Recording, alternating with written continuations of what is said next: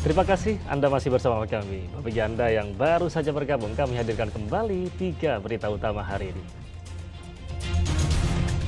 Tak ada hujan dalam sebulan terakhir, 200 hektar sawah di Kabupaten Cirebon kekeringan dan tak bisa digarap petani.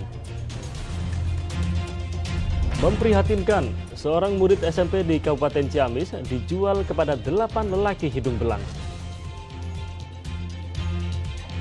Merebaknya virus LSD membuat cemas pedagang hewan sapi kurban di Kampung Blender, Kota Bogor.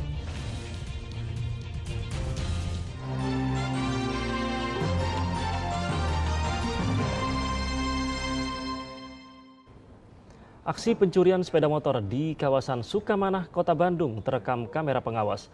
Pelaku tega menyeret pemilik motor hingga beberapa meter karena berusaha mempertahankan motornya.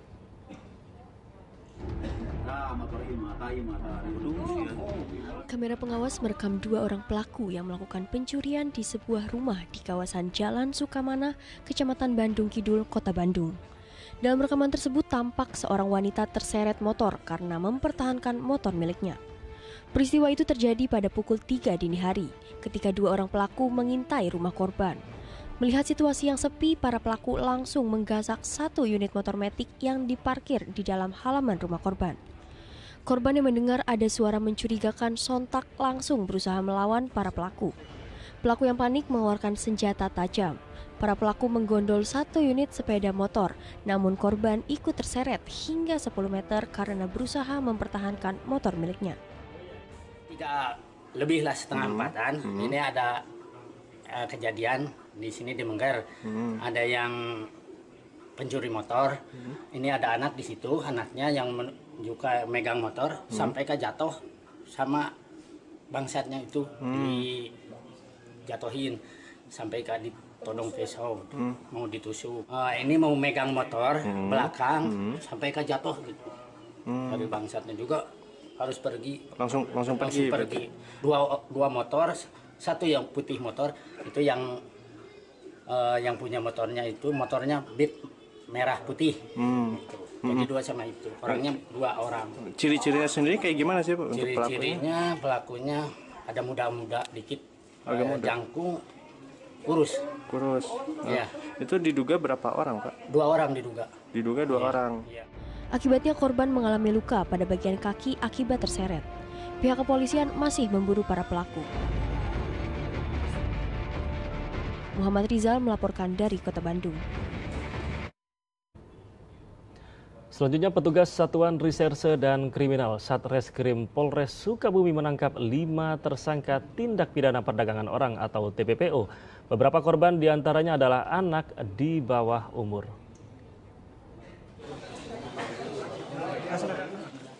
Kelima tersangka kasus perdagangan orang ini berasal dari daerah berbeda serta peran yang berbeda saat menjalankan aksinya. Mereka ada yang berperan sebagai perekrut, membantu pengurusan dokumen palsu, membantu mengantar proses medis dan memproses keberangkatan korban. Polisi menyelamatkan delapan perempuan belia, dua di antaranya berusia 15 dan 16 tahun yang dipekerjakan sebagai asisten rumah tangga di Timur Tengah.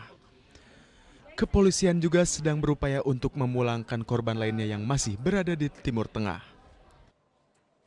untuk eh, Gaji korban eh, gaji diberikan ya tapi untuk perlakuannya di sana tidak diterima dengan layaknya kemanusiaan yang kedua bahwa kedua korban ini adalah anak di bawah umur mengetahui atau menjadi korban atau mendengar informasi tentang tindak pidana perdagangan orang bisa melapor atau WA kepada hotline-nya 0811 1699 110.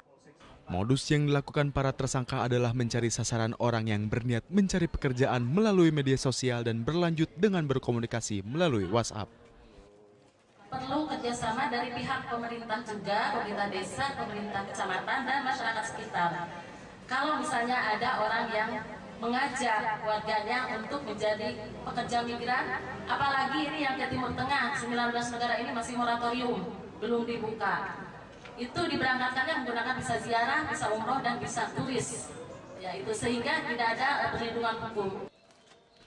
Kelima tersangka dijerat dengan pasal 2 Undang-Undang Republik Indonesia Nomor 21 Tahun 2007 tentang pemberantasan TPPO dengan ancaman kurungan penjara paling lama 16 tahun dan denda maksimal sebesar 600 juta rupiah.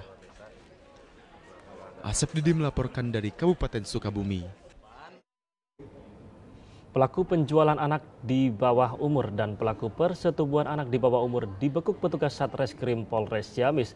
Polisi masih mengejar tujuh pelaku lainnya yang merupakan pelaku persetubuhan di bawah umur. Mereka diancam dengan Undang-Undang Perdagangan Orang. Kasus ini berawal ketika polisi mendapatkan laporan dari orang tua korban yang curiga dengan perilaku anaknya yang masih duduk di bangku SMP. Sang anak memiliki uang banyak dan selalu berbelanja barang. Setelah didesak orang tua, akhirnya sang bocah mengaku bahwa dirinya melayani lelaki di sebuah rumah kos di Ciamis. Polisi akhirnya mengamankan Sopi Maharisma. Dalam penyelidikan, pelaku menawarkan korban SM yang masih duduk di bangku SMP kepada lelaki hidung belang dengan tarif Rp300.000 setiap kali kencan di kamar kos Sopi.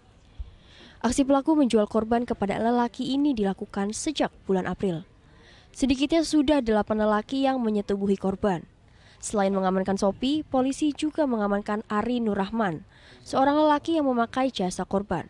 Kini polisi masih mengejar tujuh pelaku lainnya.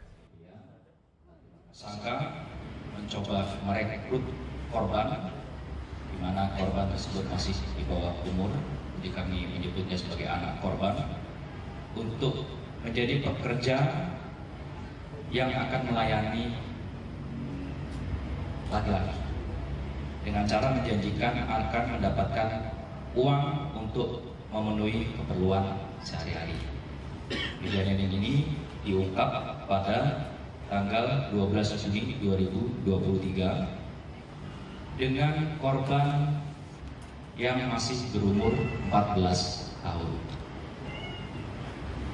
Status dari korban masih berstatus sebagai pelajar Selain menjerat pelaku dengan Undang-Undang Perlindungan Anak, para tersangka juga bakal dijerat dengan Undang-Undang Perdagangan Orang dengan ancaman hukuman di atas lima tahun penjara. Eko Setiabudi melaporkan dari Kabupaten Ciamis.